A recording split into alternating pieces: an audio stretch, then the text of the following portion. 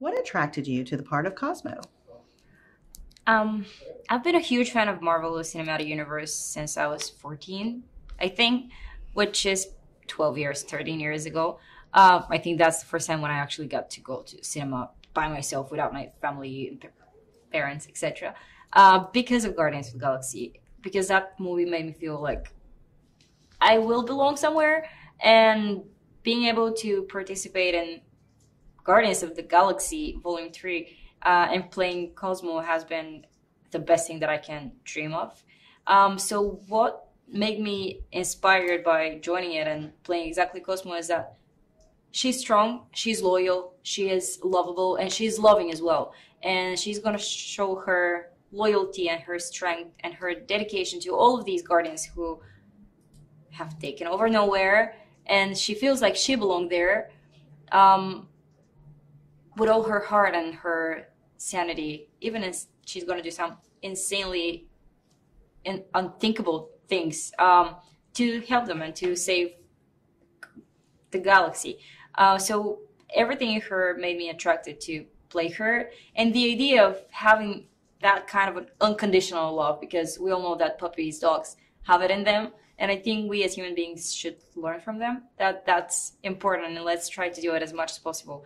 So maybe maybe that was the reason why I was absolutely doing it. And of course, that's freaking James Gunn and it's Marvel and this incredible cast. The character is CGI, so you voiced her. How did you approach finding your dog voice? What did that entail? Well, I was trying to play her with so many different voices. Um, so to find the right voice for Cosmo was let's see which register. I'm not sure. Is that right? It's said in English. Um, tonally, is it going to be a deeper voice? Is it going to be a higher voice? Is it going to be something in the middle? Because um, she's a prototype of the first dog that has been sent to the cosmos to the moon, called Laika. Um, and thinking about it, thinking about what's her personality, because judging by myself personally, I have periods of times where I'm speaking with a lower voice, and I have periods of times where I'm excited and my voice goes high. So she had the variety of um, tonals. Um, I think um, to to feel in the moment of of the things that she's going through. But I think somewhere in the middle was the right place to be because we don't know how old she's been when she's been sent there, and she kind of remained the same age. So she's experienced, but at the same time, she might be just two, three, four years old. Um, yeah. What kind of conversation did you have with James Gunn about concerning Cosmo, and what did he want the character to convey? James Gunn had been uh, with me every step on the way in this movie, um, guiding me and making me feel safe and making me feel protected and heard, and made me a collaborator of this movie, which is incredible because we as actors always desire to have a voice, to have a thought that can be heard and seen. Um, and he is capable of doing that which makes you more open and willing to share and improvise more because that's where great things can happen. You open up try something and then he's guiding you to the best direction. Um, so we did have lots of conversation and i got to spend a lot of time there wearing a mocap suit and just staying over hours and watching all of these people and watching how this whole machine is working.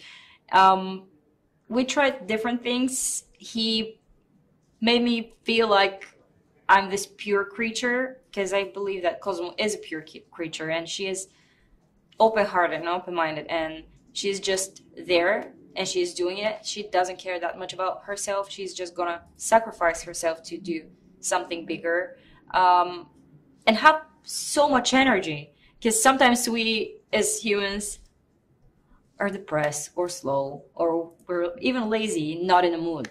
She's not exactly like that. Till the moment that she doesn't have any more strength in her, she's gonna do it all to to just be there for them.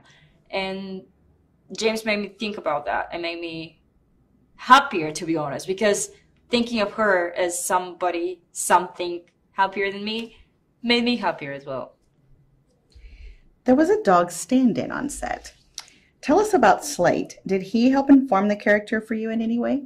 Yeah, well, watching him and seeing what a crazy beautiful creature that was. He was running and jumping and he was perfect and disciplined, but at the same time, his energy and his excitement, it's something that I need in my life. I think we all need it.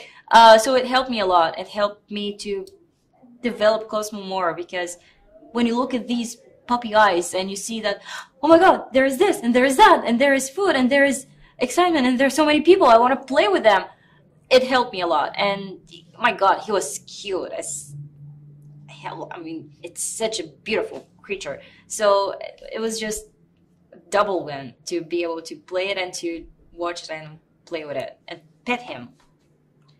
Tell us about Cosmo's friendship with Kraglin.